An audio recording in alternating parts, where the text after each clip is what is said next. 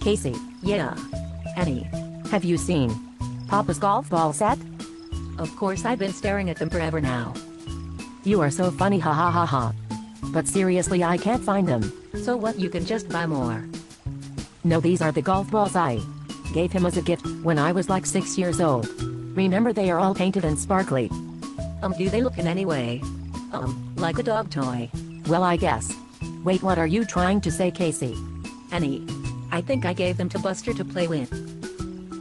Casey, oh my god.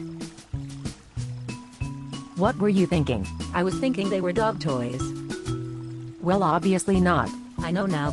What are we going to do now? Papa is leaving in an hour to go play golf. And he calls them his lucky golf balls.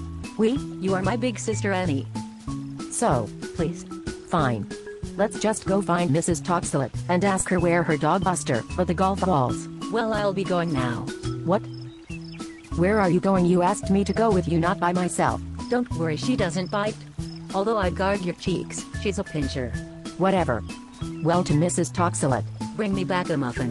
What? No. Fine Miss Grumpy just hurry.